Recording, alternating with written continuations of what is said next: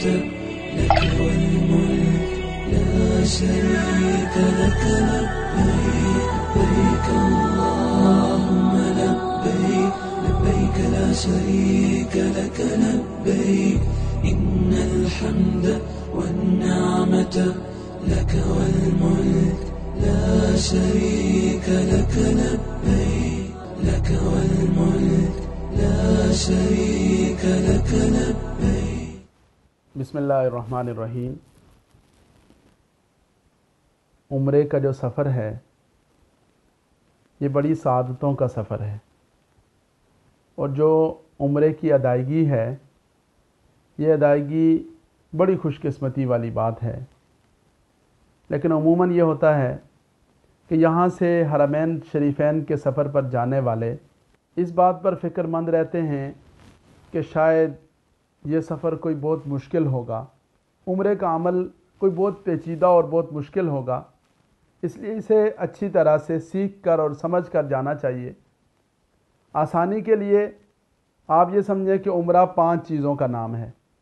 Number एक, एहराम का नाम है। नंबर दो, तवाफ़।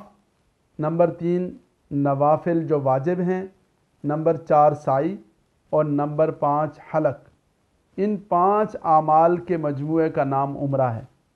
और ये पाँच आमाल इसलिए ज़िक्र कर रहे हैं कि इंसान को अल्लाह रब्बुल इज़्ज़त ने एक दाएँ हाथ की पाँच उंगलियाँ अता फरमाई।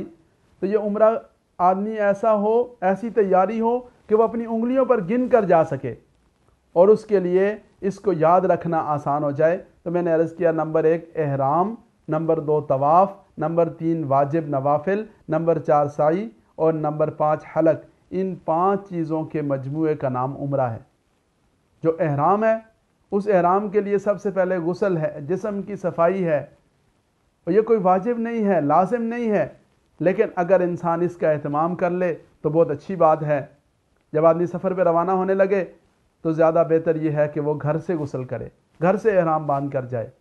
लेकिन बसा अवकात इस बात का यकीन नहीं होता कि हज फ़्लाइट टाइम पर है या वो लेट हो जाएगी। बसा अवकात ऐसा होता है कि हज फ़्लाइट जो है, वो बराह रास्त नहीं है, वाया है। उसे मस्कत जाना है, उसे दुबई जाना है, उसे बहरैन जाना है। उसके लिए भी इतना लंबा वक्त एहराम बांधना ज़रा नस्बता मुश्किल हो जाता है। इसलिए जिस जगह से बराह रास्त हरामैन शरीफैन का सफ़र शुरू हो, एहराम वहाँ से बांधना चाहिए।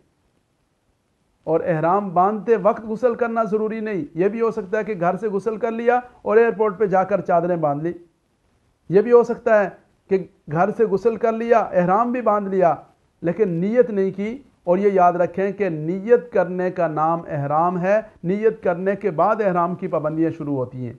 नीयत करने से पहले एहराम की कोई पाबंदी नहीं होती। और अगर वाया फ़्लाइट है तो फिर जिस जगह से बरह रास्त हरमैन शरीफैन का सफ़र शुरू हो रहा है, वहाँ पर गसल करके एहराम बांधना चाहिए।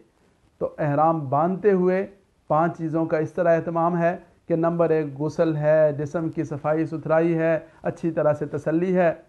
नंबर दो, एहराम की चादरें ओढ़ना, दो सफ़ेद चादरें एक तहबंद की शक्ल में और दूसरी जिसम के ऊपर वाले हिस्से की पर ओढ़ना, इस अंदाज से कि सर या चेहरा वो ढांका हुआ ना हो। और तीसरी चीज़, दो रकात नमाज़ नफल की अदायगी। मसनून है, मुस्तहब है, लेकिन कोई लाजिम और ज़रूरी नहीं है। और चौथी चीज़, नीयत। और नीयत के बारे में ये याद रखें कि हज के उम्र के मुबारक सफ़र में जहाँ जहाँ नीयत करनी है तो उसमें तीन चीज़ें अगर अरबी की नीयत याद है तो बहुत अच्छी बात है। लेकिन अगर अरबी की नीयत याद नहीं है तो ये याद रखें कि नीयत में तीन चीज़ें हैं। नंबर एक उस अमल का तयन कि मैं उम्र का एहराम बाँध रहा हूँ मैं तवाफ़ करने लगा हूँ मैं साई के साथ चक्कर लगाने लगा हूँ। जो अमल भी करने लगा है इंसान उस अमल का तयन के मैं ये अमल करने लगा हूँ। और उसके बाद ये दो चीज़ें ये एक तो उसका तयन हो, गया और दो चीज़ें हर नीयत में हैं कि अल्लाह इसको आसान फरमा दे अल्लाह इसको मेरी तरफ़ से कबूल फरमा ले। फयसर होली व तकबल हमिनी फयसर हाली व तकबल हामिनी अगर उम्र है तो मुन्नस की ज़मीर आएगी। अगर तवाफ़ है या कोई और अमल है तो आदमी अपने रब की बारगाह में ये दुआ करेगा फ़यसर होली व तकबल हो मिन्नी।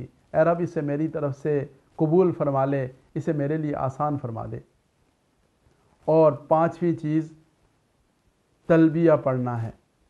नियत करने के बाद पांचवी चीज़, तलबिया पढ़ना है। तो सबसे पहला जो अमल है उम्र का वो अहराम है। और एहराम के अंदर की पाँच चीज़ें, नंबर एक गुसल और सफ़ाई सुथराई का अहतमाम नंबर दो, एहराम की चादरें ओढ़ना, नंबर तीन, दो रकात नमाज़ नफल पढ़ना, नंबर चार, नीयत करना, और नंबर पाँच, नीयत करने के बाद तलबिया पढ़ लेना। ये पाँच आमाल का नाम एहराम है। उसके बाद दूसरी चीज़, तवाफ़ है। तवाफ़ भी पाँच चीज़ों को इसमें मद्देनज़र रखा जाए। नंबर एक, इस बात का तयन कि बैतुल्ला शरीफ का वो मकाम के जहाँ से तवाफ़ शुरू करना है। हजर असवद का तयन और वो वहाँ की सबज लाइटों से हो जाता है। वहाँ पहुँच कर जो सबसे पहला काम है, वो ये है कि इंसान ने नीयत करनी है तवाफ़ के सात चक्रों की। और इस बात का तयन कि अल्लाह मैं तवाफ़ के सात चक्कर का, तेरी रज़ा की खातिर और तेरी बारगाह में तवाफ़ के साथ चक्कर लगाने का इरादा करता हूँ। या अल्लाह इन्हें मेरे लिए आसान फरमा दे और इन्हें मेरी तरफ़ से कबूल फरमा ले। नंबर दो जो काम करना है, वो है इस्तबा। इस्तबा का मतलब तवाफ़ की चादर को इस कंधे से नीचे, यानी इस बाजू के नीचे से गुजारना और ये जो दायां कंधा है, इस कंधे को नंगा रखना। और नंबर तीन है इस्तकबाल किबला जैसे नमाज़ का आगाज़ करते हैं उस तरह बिस्मिल्लाह अकबर करके किबले की तरफ़ इस्तकबाल तहरीम तकबीर तहरीमा वाला अंदाज इख्तियार करना। और उसके बाद जो चौथी चीज़ है, वो चौथी चीज़ है इस्तेलाम बैतुल्ला शरीफ का। ये पहले चक्कर में भी होगा, और जिस जिस चक्कर में हजर असवद के सामने आएँगे तो हजर असवद को दोनों हाथों से जिस तरह बोसा देने लगे हैं, उस तरह इशारा करके अपने हाथों को चूम लेना। अगर दोनों हाथों से ना हो सके तो कम अज़ कम दाएँ हाथ से हजर असवद की तरफ़ इशारा करके अपने हाथ को चूम लेना, ये इस्तेलाम कहलाता है। और पांचवी चीज़ के पहले तवाफ़ में रमल करना, यानी पहलवानों के अंदाज से चलना, या अगर रश की वजह से पहलवानों के अंदाज से छोटे छोटे कदम करके चलना मुमकिन ना हो तो कम अज़ कम उस तरह की मुशाबहत और शक्ल इख्तियार करना इसका नाम रमल है।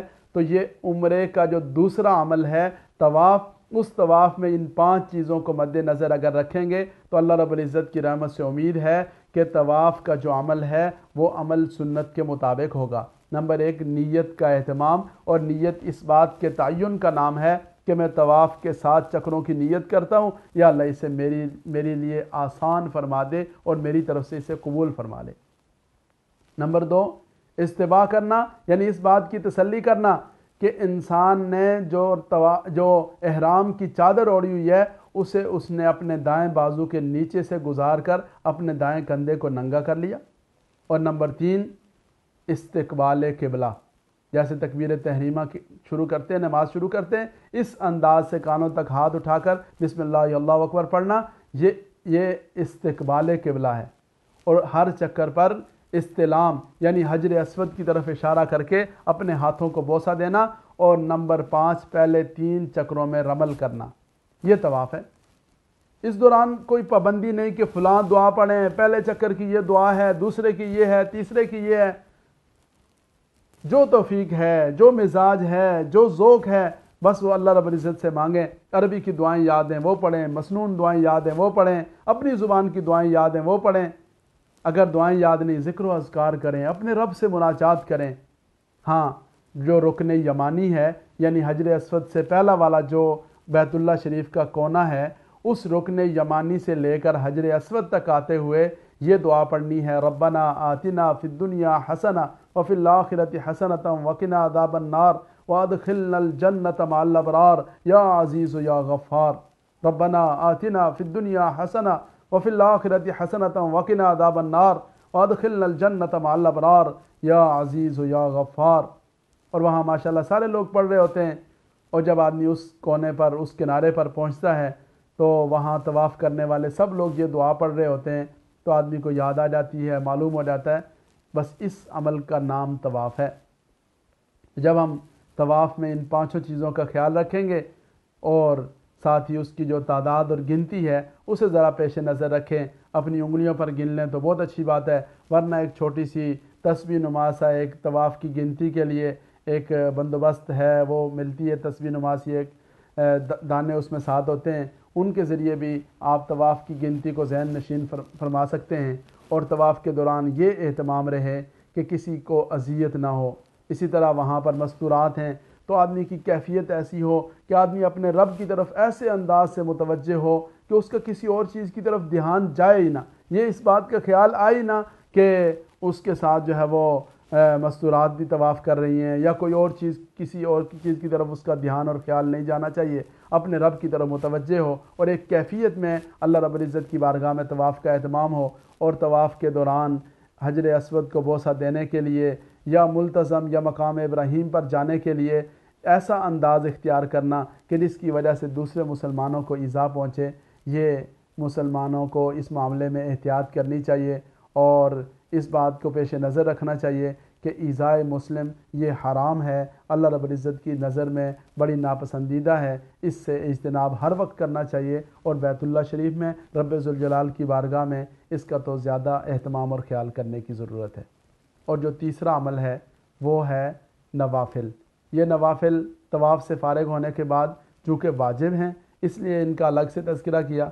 तो दो रकात नमाज़ जो नफल है, उन नवाफिल का अहतमाम हो और उनके अंदर ये है कि सुरह काफिरून पहली रकात में पढ़नी है और दूसरी रकात में सुरह अखलास पढ़नी है और ये जो नवाफिल हैं, ये मकाम इब्राहीम के पास पढ़ने हैं और उसके बाद जो चौथा अमल है, वो साई है, सफ़ा और मरवा के दरमियान।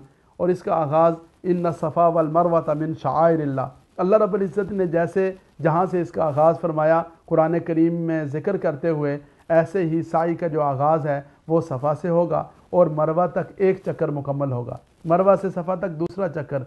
तवाफ़ जहाँ से शुरू किया था, वहाँ वापस पहुँच कर एक चक्कर मुकम्मल हुआ।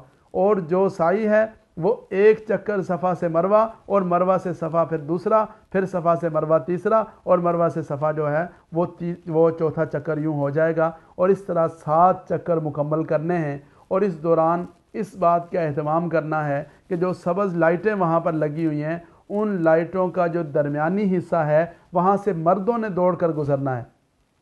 और जब सफ़ा पे पहुँचें, जब मरवा पे पहुँचें तो दुआओं का अहतमाम हो। अल्लाह रब्ज़त की तरफ़ मुतवजह रहें। अल्लाह रब्ज़त की बड़ाई और किबरियाई को बयान करें। अल्लाह रब्ज़त से मांगते रहें। अल्लाह रब्ज़त की हमदो सना करते रहें। तो ये जो साई का अमल है, ये हज का ये उम्र का चौथा अमल है और इस अमल की तकमील के बाद जो पाँचवा और आखिरी अमल है, वो है हलक करवाना या कसर करवाना। ये हलक और कसर करवाना ये उम्र का वो अख्तामी अमल है कि जिसके बाद उम्र की तकमील हो जाती है और इंसान अहराम की पाबंदियों से आज़ाद हो जाता है। तो मैंने अर्ज़ किया कि उम्र का जो अमल है, वो लोग ये समझते हैं कि बहुत पेचीदा और मुश्किल अमल है। हालाँकि ये बड़ा आसान है। सिर्फ़ सीखने और समझने की ज़रूरत है और सीखने और समझने के लिए इंसान को अल्लाह रब्बुल इज़्ज़त ने हाथ की पाँच उंगलियाँ दी। इन पाँचों उंगलियों को अब के ऊपर इंसान गिन कर उम्र के जो अमाल हैं, उन्हें मद्देनज़र रख ले। नंबर एक, उम्र के लिए एहराम बांधा जाता है। नंबर दो, तवाफ़ किया जाता है। नंबर तीन, तवाफ़ से फारग होकर नवाफिल पढ़े जाते हैं मकाम इब्राहिम पर। नंबर चार, सफ़ा और मरवा के दरमियान साई की जाती है। और नंबर पाँच, हलक करके उम्र की तकमील होती है और इंसान हालत अहराम से फारग होकर हलाल हो जाता है। इन पाँच अमाल का नाम उम्र है। हज के लिए जाएं और उसके लिए जो उम्र करें वो भी इन्हीं पांच अमाल का नाम है और आम हालात में उम्र करने के लिए जाएं तो वो भी इन पांच अमाल का नाम है अल्लाह रब्ज़त मुझे और आपको उम्र के अमाल को सीख कर उनकी अदायगी की अपनी रहमत से तोफ़ी अता फरमाएँ